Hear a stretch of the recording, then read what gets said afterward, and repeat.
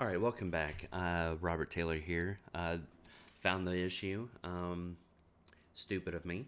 So if we go back to uh, third person character, I thought we had already done this because I remember doing the input action interact, but we didn't do this math right here. It's not really math, but we didn't do this bit of code right here, uh, which, you know, creating the code is fine and dandy, but if you don't make it a way for the code to do its job, um, it's not going to work. So I apologize for that.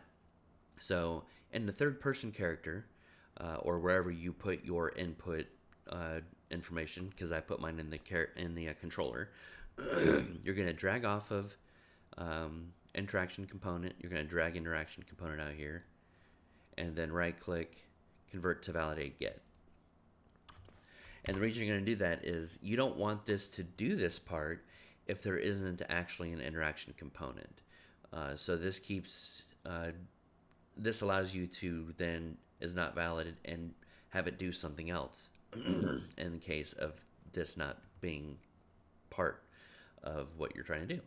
Anyways, so then you're going to want to, you know, drag out of there, look at actor, place that into the target.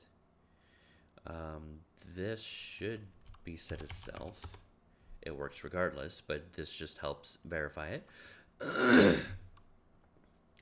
uh, drag out of is valid to interact with, place the uh, look at actor into target, self into player character, and then set, uh, you want to set a variable current currently interacting with, which we can set to private because it's not going to be done.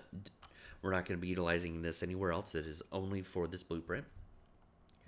Um, and then on released, uh, do another validated get, just copy and paste it, and stop interacting with, place that into the target, and place the currently interacting with um, variable in here, uh, effectively clearing it because nothing's connected to it.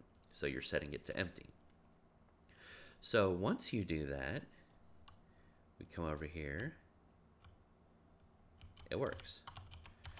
Obviously, if we wanted to have this set up to um, only do the code based off of an individual circumstances, we would need to set up an enumerator.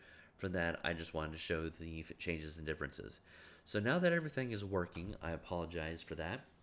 But, uh, you know, this released with that uh, video, so no harm, no foul in my mind.